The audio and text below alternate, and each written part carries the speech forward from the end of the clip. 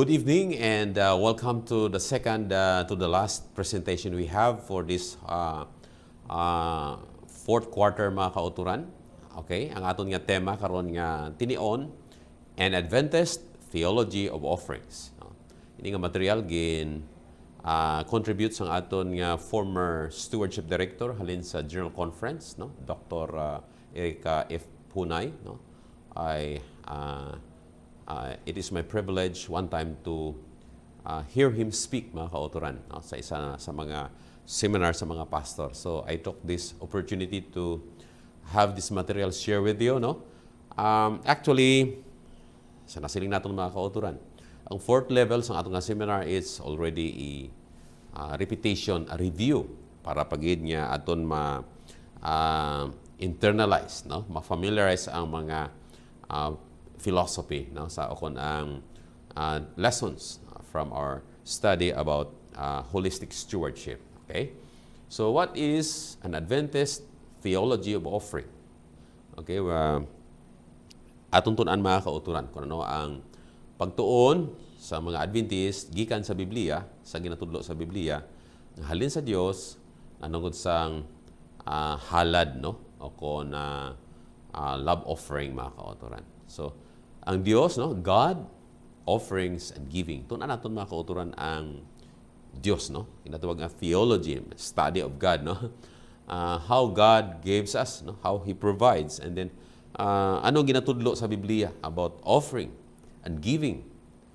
Okay, so, uh, kung imulan tawon ang litra nga God, no? It starts with, you know, letter G, no?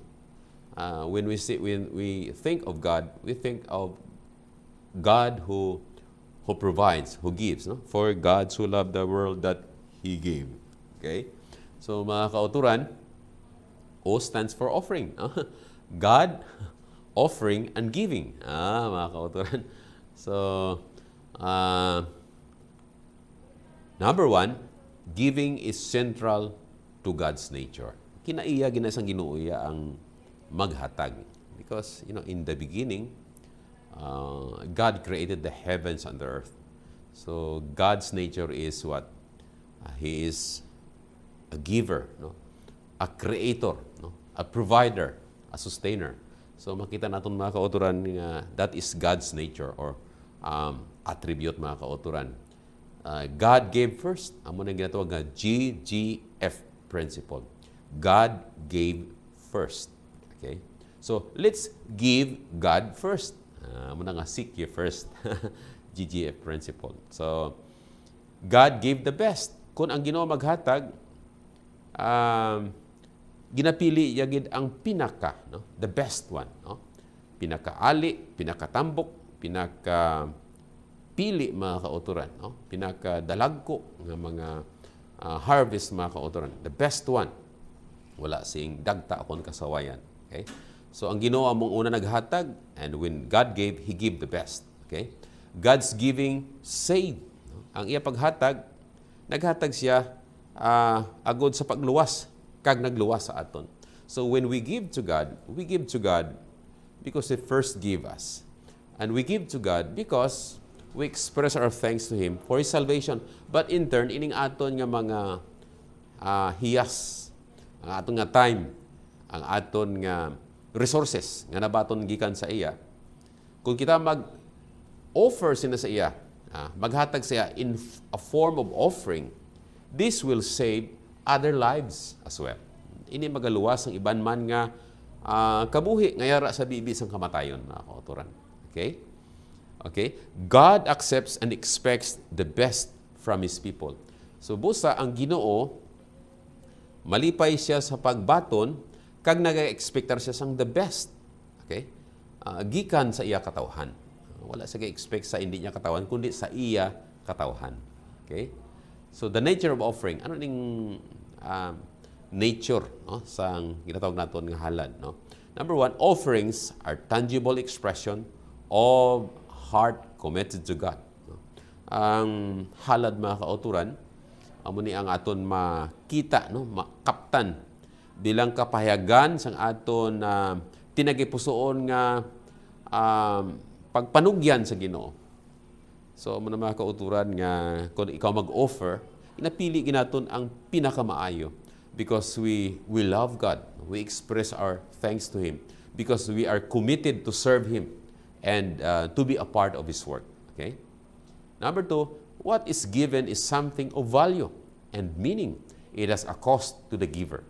So kung ikaw maghatag, hindi lang uh, baratuhon, mga kauturan. Uh, kung isang ginapili mo pa nga mga panapton dito, atong wala na siper, uh, atong wala na butunis, di, hindi maayo, no? Ang aton pilion mga kauturan, something of what? Of value and meaning. Kag may ano siya, may bili sa naghatag. Amo nang ginatawag nga sakripisyo, gin sakripisyo niya ang may duwa sing bayo, maghatag siya sa wala. So 50% gid. okay?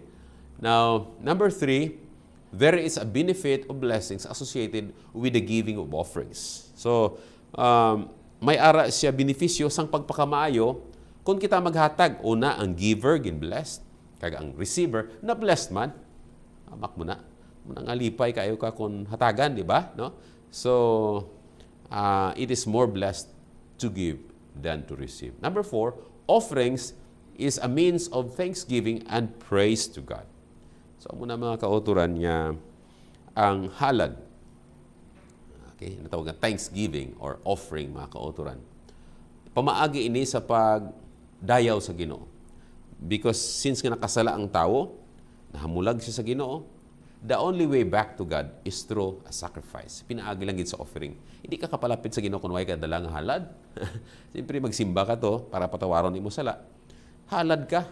Kag sa imo halad, magatubok ang aso pa langit, tamdon ka sang Ginoo tungod you believe in God, ginhinulsulan mo imo sala, ang karnero na matay tungod sa imo mga sala, nangin substitute para sa imo.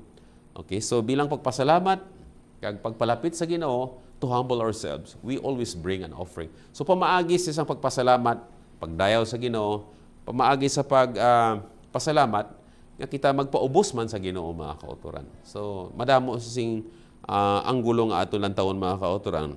Worship and joy are common denominators in the giving of offerings.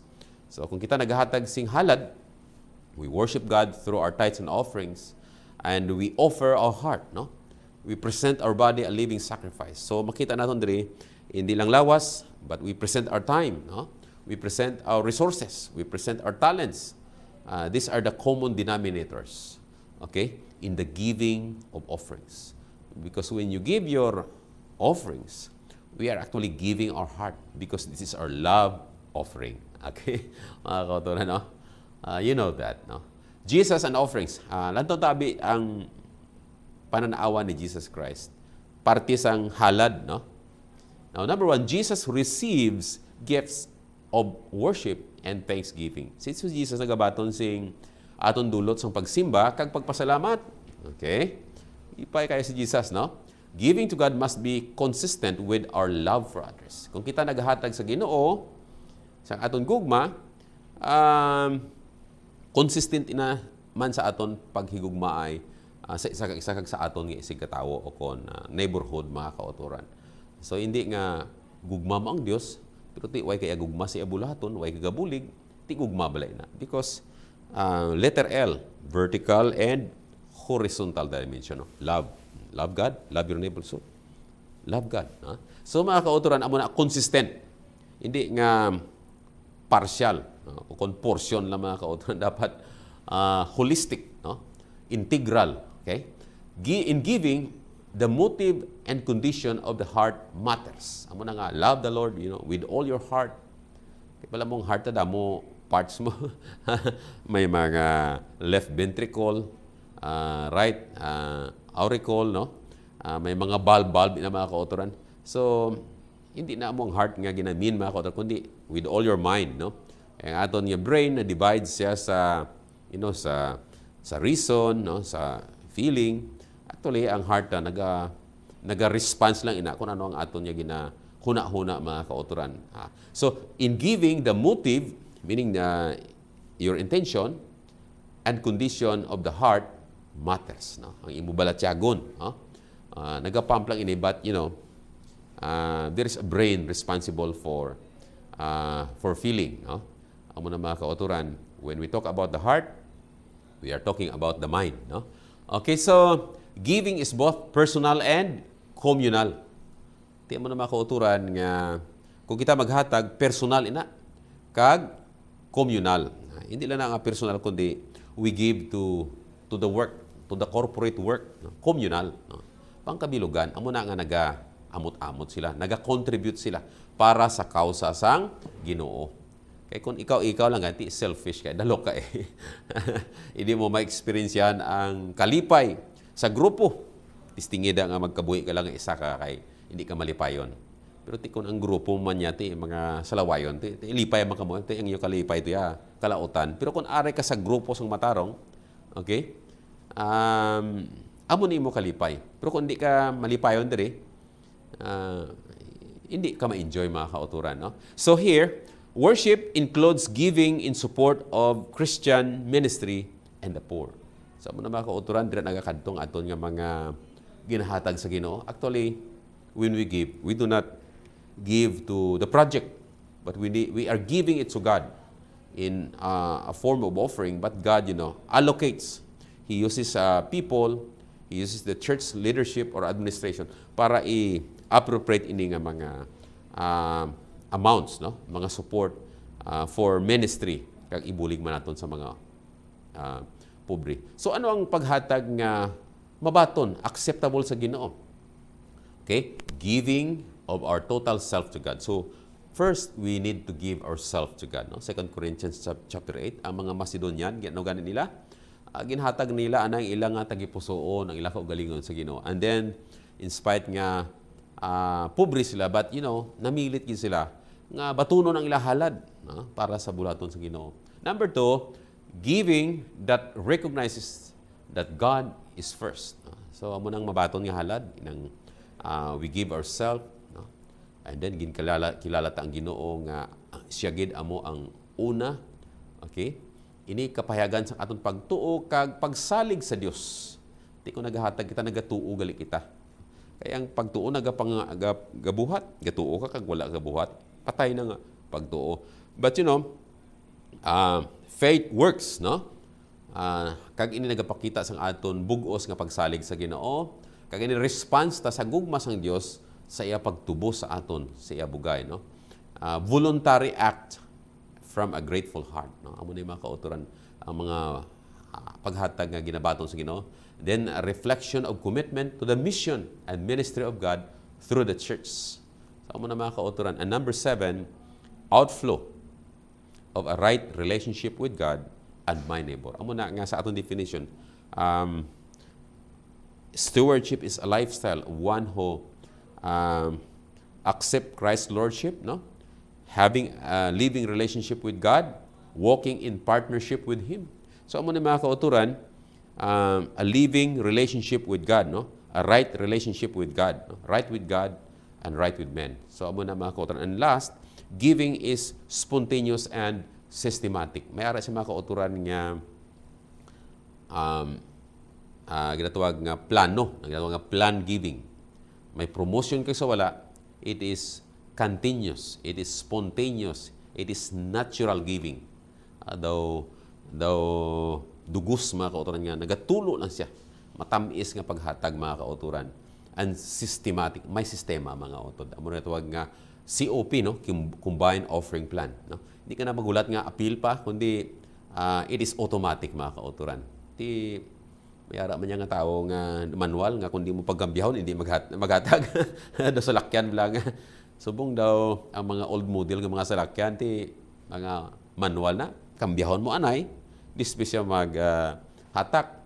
Pero ti kung subong ya may mga salakyan ya nga um, automatic hatak dayon. So mo na mga ka kung may plano, dapat automatic ang aton paghatag, no? So giving, okay? Ari mga kauturan ang expression of financial stewardship. Uh, sa aton ginatawag nga theology of offering, um, uh, ining parte sa ikapulo kag halad, may ari ni nga expression mga utod. Now, ang ikapulo, iyan niya sang Ginoo, no? It belongs to God. It doesn't belong to us. But we return it, no? Uh, during um, uh, the time nga kung kita magpalapit sa Ginoo. Offerings, it belongs to God. Kaya gin-offer mo, hindi na naimo. uh, hindi lang gid maglain buot mo nga kung naghatag ka sa imo offering sa Ginoo.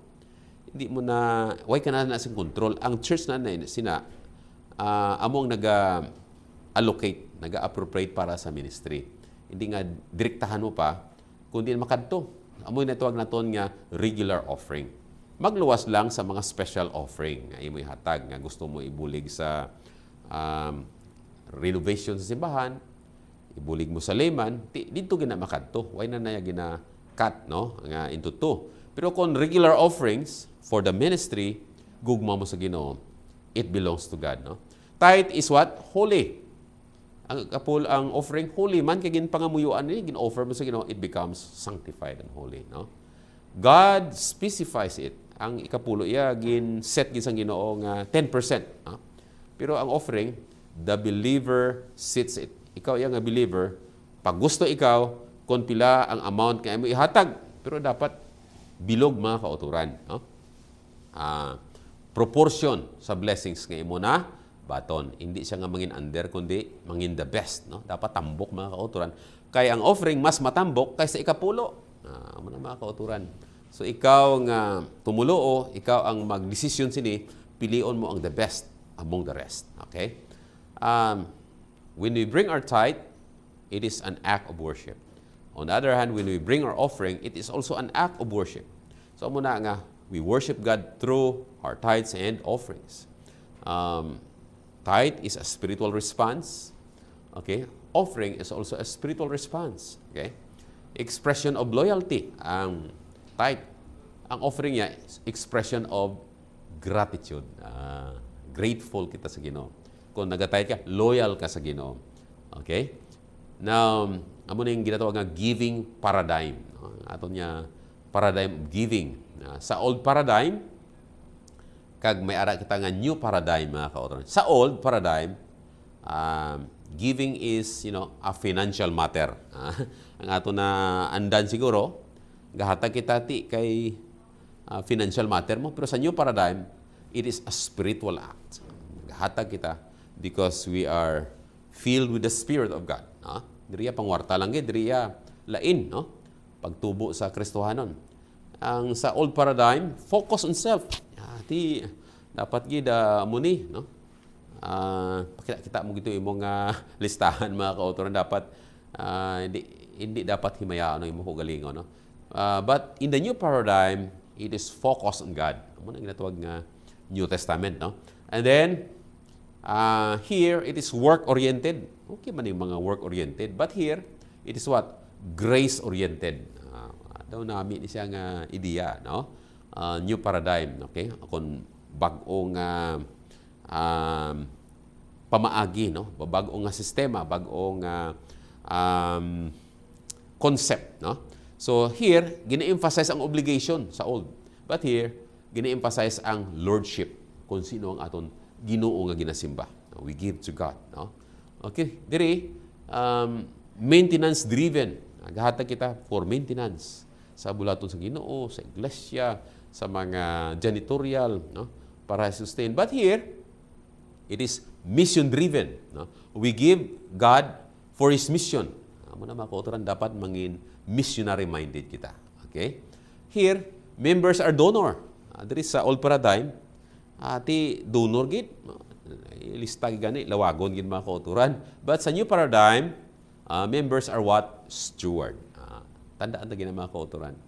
Uh, nga kung nakahatag kita dako, hindi kita mag uh. Dapat mangin humble kita.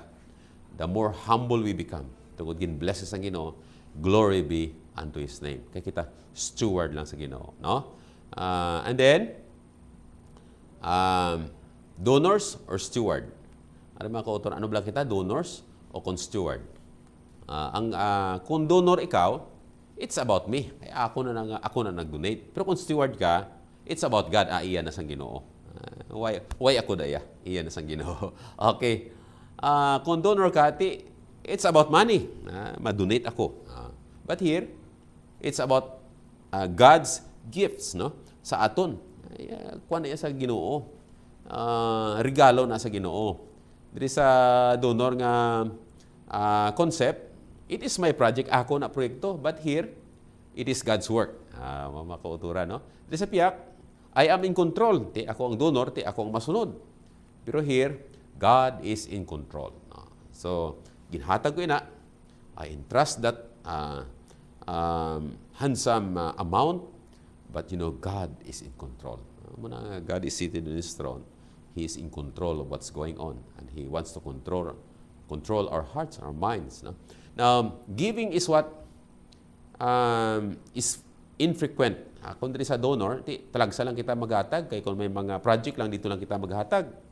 Hindi ba frequent, no? Kundi infrequent. But here, giving is a lifestyle. Ah, lifestyle. Kamay plano mo. Systematic benevolence, mga kauturan. okay. But diri, the amount matters. Ah, ang amount gid. But here, ah, the heart matters. Amo nga. Love the Lord with all your heart. No? So, diri sa piyak, about money. But here, it's about love no? To God. No? Now, Seventh-day Adventist practice is what? Amo ni atong practice. Ang tithe, nila, 10% or one-tenth. No?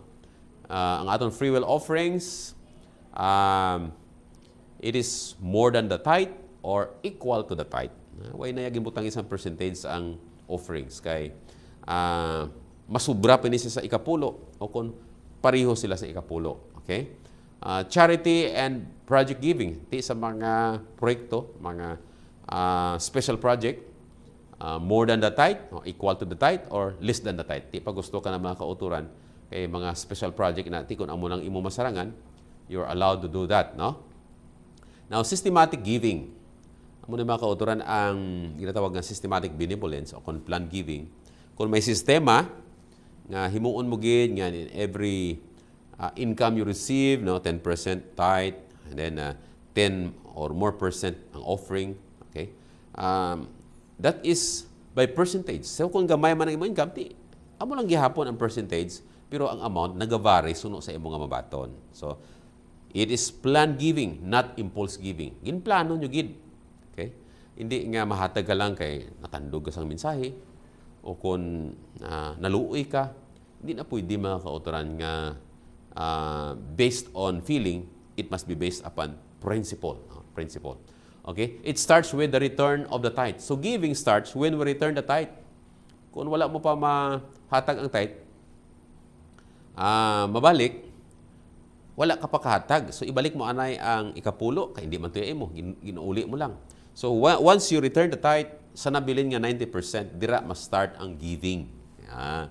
Hatag na sa imong love offering. Okay? Maybe uh, more than the tithe or equal to the tithe.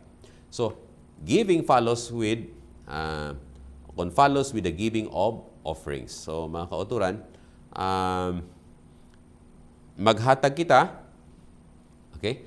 Ang pagplano mga kauturan uh, follows with the giving of offerings, no? Uh, maybe follows with the giving of the tithes. no? It starts when the uh, with the return of the tithes follows with the giving of offerings. Okay. Make allowance for project giving. So kung nakahatag ka sang tithe, nakabalik ka, nakauli ka, nakahatag ka sa offering, uh, mag-save man kita mga kauturan. Uh, not from the tithe, not from the regular offering, kundi from our remaining 80%. May ara kada nga i-save mga kauturan para nga may ibulig ka sa project. Amo na nga ginatawag nga sakripisyo. Sakripisyo mga utod. Ginplano mo na iya, no? Uh, imutan ito comfort but yet you want to help the project. So you, you save an extra money for that project, no? Pero once the project is done, di, why na tuyay? Pero ang imo iyang uh, uh, systematic giving o plan giving, padayon na tithes and offering. Ang project, once nga matapos, pareho bala sa templo, sa time ni o sa time ni ano, ni, ni Moses sang nahuman na niya tama na untatin niya na kay subranti na ini so amo na mga kauturan ang mga special project ah, hindi ta nakuhaon sa tithe o kung sa offering kundi sa aton savings no okay um, understand global and local needs sa muna ginatawag nga systematic giving ginalantaw naton mga kauturan ang local nga needs sa local ah, nga church sa local conference, sa local union, sa division kag sa general conference, sa global and local needs. No? Um, it is regular may promotion kag sa wala, it continues to flow mga utod. Okay? It always focus on God and mission. Amo na ginatawag na systematic giving. Now sa sermon ni Jesus Christ ito sa Mount uh, of Olives, mga kauturan, talking to the disciples, uh, the approach, no? blessings precedes heart commitment. Tiyan mo na dira nga sa Beatitudes, no? Uh, bulahan ang mga imol sa Espiritu. Bulahan ang mga nagakasakit. Bulahan ang mga mapinaubuson. So, blessings precedes heart commitment. Uh, una na yung blessings. No? So, the message is practical. No? Um, practical Christianity. Uh, sa discipleship, mga kauturan, um, practical. Dapat it must be practiced no? sa Christianity. Di, hindi man kita bulahan kung natin na ginhimo ng mga butang. No? So, do not um, sa Matthew 6:19 to 20 sa walin ni Jesus Christ sa uh, mount no? Hindi ka mo magtipon sa inyo kagalingon sing bahandi sa duta. Nga diin ang mga sipit o kun ang mga tuktok naga nagaguba no? Nagautot no? ang mga makawat nagaguhab kag nagapangawat. Apang magtipon kamo sa iyo kagalingon sing bahandi dito sa langit. Nga sa diin hindi maguba sing uh, sipit o kung tuktok nga kag wala si makawat nga maka guhab o kung makapangawat. So we are advised to lay up treasure in heaven. Okay?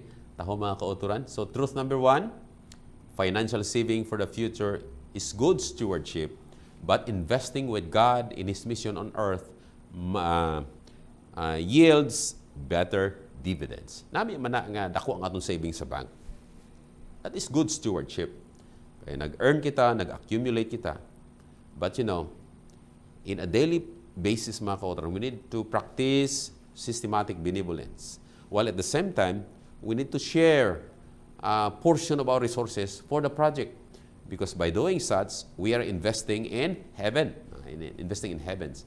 Because that investment will yield uh, better dividends or eternal value mga kauturan. Okay?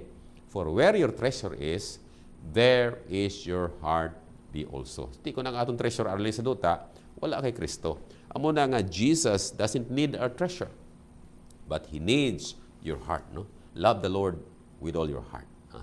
with all your heart, no? with all your finances, with all your time, with all your health, no? with your talents. Okay, so what is where is your heart? Din bala na bilong atong tagipusoon mga kauturan talking about this offering nga aton ni offer sa Ginoo sa earthly o kon sa heavenly. Uh, kung diri sa risky investment. Uh, ti ari ang mga lockdown, ari diri ang mga financial collapse mga kauturan, ari ang losing, ari diri ang depletion, economic depletion. But you know, in heaven, uh, we have a secure investment, no? eternal investment. Okay, diri sa duta ya temporal. Uh, okay subong ang negosyo pero buwas why na. Okay? Ti daw may bago naman siya niya siling ni Mrs. niya. May ari naman di sa kwan niya. Nagpaybalo nga siya. Pastor ari naman no, may double naman. Ba ang basi double guro ang pirdi naman naton kay wala gid sang negosyo nga nagatinera. Agi lang to sila no? They just come and go. Mga kauturan kag ang mamotivate sa aton dati didto na lang aton nga balatyagon eh why na sa bulaton sa Ginoo? Kay invest ani ni kay yadi pa. Mga kauturan risky diri sa tuta. Agi lang ang negosyo. Ah, dugay-dugay lockdown naman ina. Why na itong imo millions dito o kung hundreds dito mga kauturan. But here in heaven, we have eternal investment. No? Sa earthly, money. Pero sa langit, uh, it's, all, it's all about God. No? Um, ti driya, worry. Kaya kung may ano ka, may investment, gapalibog ka, basi ma-losing ni, no? Driya pagtuo. Diri, unbeliever, but dito ya, believer. No? Truth number two, It is natural for the human heart or mind to focus and follow what it precedes as important in life. No one can serve two masters. Either he will hate the one or love the other, or he will devote to the one and despise the other. You cannot serve God and money. No? Matthew 6, 24. So wala sing ginatawag naton nga neutral ground mga kauturan. money is good. Pero hindi naton pagigugmaon ang kwarta. Kundi higugmaon ta ang tag-iya sang kwarta nga among Dios, no? Do not love the gift, but we need to love the giver. Kay kon himuon mo ang kwartang idol, hindi ka makaalagad sa Dios. Kay dito nang imo balatyagon sa kwarta mga kauturan, no? So sino ba lang aton simbahon? Whom shall we worship? Money or God? Amo na makauturan ang black and white nga desisyon, okay? Uh, ang money it is only a means of worship. Dala kita sa money para pamiliti, para may offering kita. But do not worship money. No? We need to worship God because He is the object of worship. No? Kilalahon ta. Um, you, ang money, human product lang na. No? Produkto lang na sang tao, no? kauturan. No? Pero ang Diyos, He is the creator. Siya ang provider, tanan nga butang sa kalibutan iya. No? Ang money, uh, dulot lang na sang Diyos sa aton. Pero ang Diyos, amoy ang giver. Ah, nami no? Ang money, why na yung life? Pero ang Diyos, He is the life. Di niya ti, kung way ka kwarta, patay ka man. Mga kauturan. Um, hindi na among rason. Buhi ka man Japon, bisan way kwarta, kasi ang una, way man gani kwarta, buhi man to sila niya. God is what? Is life. He is the light of the world. No? He is the life and uh, the light of the world. So, amo na si Jesus mga kauturan. Amo na ang Diyos ang ginasimba naton, no? Ang money means lang na iya sa ano na pagsimba, no? Ang money limited in value, but you know, God is what? Uh, eternal value. Okay? Uh, truth number three, spiritual worship is an attitude of the heart.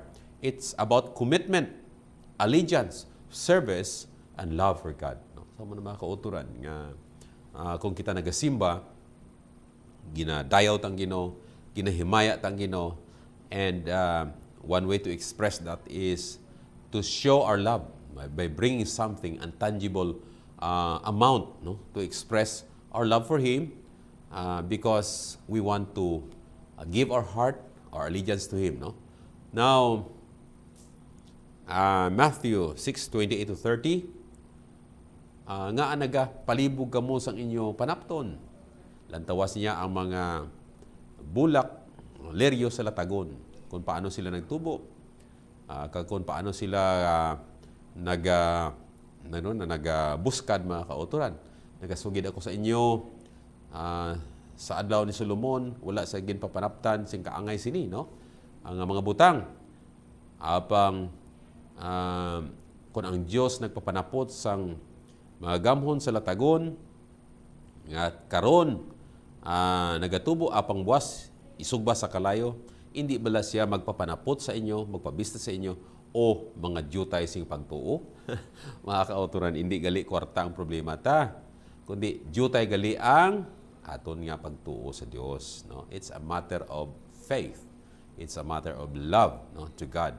Muna gali nga gamay ang aton nga offering, kay gamay ang pagtuo ta. Pero kung dako ang pagtuo ta, dako man ang aton nga contribution para sa bulaton sa Ginoo. So, eh, uh, sa pag-abot sa Ginoo, uh, ang question hindi nga how much, kundi ang question, shall he find faith faith in the earth? Kaya kung nagatuo ka, ah, nagabuhat ka, mga kauturan, no?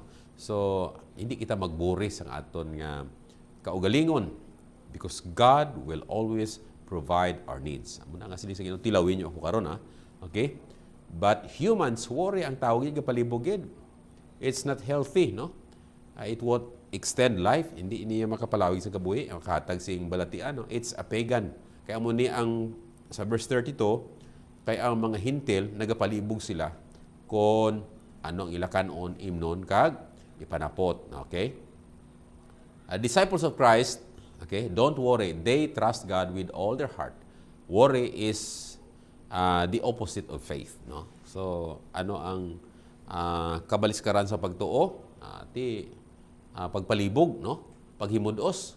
Uh, verse 33, nagasiling siya, apang unahan ninyo anay ang ginharian sa Dios ang iya pagkamatarong kag initanan nga mga butang igadugang sa inyo okay so all these things no so muna nga love the Lord with all your heart with all your soul and with all your resources no because when we love God the treasure will follow. Ah, will follow the heart or either the heart will follow the treasure. So muna nga ang atong treasure i-deposit sa Ginoo para nga didto ah, ang atong tagipusoon magatapik o kung magapabilin sa iya no. So money, retirement plans, sustentation, okay? Uh, food and water, clothes, shoes, houses, cars, health insurance, medications, education, security. So we need to love God with all our what? Our resources, no? With all these things, no? Uh, with all our, you know, uh, possession. Amo na mga kauturan, kung unahon tang Ginoo, uh, kita gid mismo ang mabless, no? Kag mangin blessing kita sa iya buluhaton. So it's a matter of what? Of the heart, no? Kingdom means the rulership of and the lordship of Jesus Christ into our heart. No? So amo na nga seek ye first the kingdom of God and His righteousness. Meaning what? Uh, God is the Lord. Because we are talking about kingdom. No? It is the Lord who reigns in my life. No? It is the Lord who lead my life. Okay? He is the one who controls my life. I submit my will to His will. No? Muna thy will be done. Righteousness is God's gift that comes from being in a right relationship with Him today. No? So ang pagkamatarong, halin ni makauturan sa dulot sang Ginoo, uh, nga aton mabaton ko kita may husto nga kaangtanan dira kay Kristo karon nga adlaw. Okay? Truth number five, stewardship is about who is the number one in your life. Okay? Ang pagkatulogyan, ang sino bala ang number one nga yari sa itong kabuhi. No? Stewardship is all about Jesus as Lord and King of your heart. Okay? Stewardship is about having a personal relationship with Him now. So mga kauturan, um, ang pagkatulugyanan, amogid ang aton balang numero uno sa aton kabuhi. Kag kung sino ina nga numero uno, si Jesus. Gid bala, Ginoo kag hari sa aton kabuhi. Kita mga kauturan, ginahatagan sing kahigayunan sa Ginoo nga makaangkon sinang buhi nga relasyon. Okay? Uh, sa iya, no? subong adlaw. Stewardship is about who is the number one in your life. No? It is about Jesus as King and Lord of your heart. Stewardship is about having a personal relationship with Him now. So, amo ni mga contributors ang aton nga presentation mga kauturan. Um, we need to give credit to whom credit is due. Napasalamatan nato ng aton nga General Conference team sa Stewardship Department. Uh, who make this uh, who made this material available for us. Gani mga kauturan let us develop um, the habit of you know uh, prayer and uh, humility by being generous mga kauturan to support the mission of God. Let us increase no our love for Him by giving Him our time, our heart, our loyalty, our gratitude. No? And uh, we will be a blessing to His work. No? By doing such, we can have that eternal investment in heaven. Hindi nga investment mga kauturan, uh, hindi madula because uh, we choose life, no? We choose God as the Lord of our lives, no? And we are His steward, no? Kabay nga buligan kita liwat sang Ginoo mga utod kag uh, aton pangabayon ang Ginoo nga uh, patubuon niyang aton gugma aton pagtuo sa iya nga kita mga kauturan uh, mangin matutom nga mga tulugyanan sa gihapon. O Diyos nga labing balaan, salamat sa imo gugma. Buli kami Ginoo nga ikaw uh, nga naghatag sing una sa amon, amon simbahon kag ikaw amon unahon gid sa amon time sa amon kusog, sa tanan nga talentong inhatag mo sa amon, ilabi na sa amon mga resources, uh, that we may take part in the mission of Christ to develop uh, that uh, lifestyle of faithful steward, dear Lord. Buli kami nga mangin uh, generous giver by giving all what uh, uh, all the blessings uh, we receive from you, the Lord. Help us to slice a portion of this for the advancement of your kingdom. And bless Ginoong amon mga hearers. And may our relationship will grow with one another as a family. Kag ang amon relasyon kay Ginoong Hesus nga amon Ginoo kag hari sa amon kabuhi magapadayon sa gihapon Salamat amay sa mapagpatawad kag pag sabat sa amon pangabay, i-bless kami tanan sa ngalan ni Jesus. Amen.